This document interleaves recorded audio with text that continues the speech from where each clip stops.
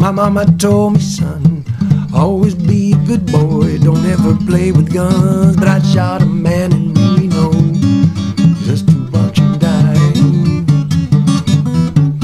When I hear that whistle blowing, I hang my head and I cry. Yes, I do.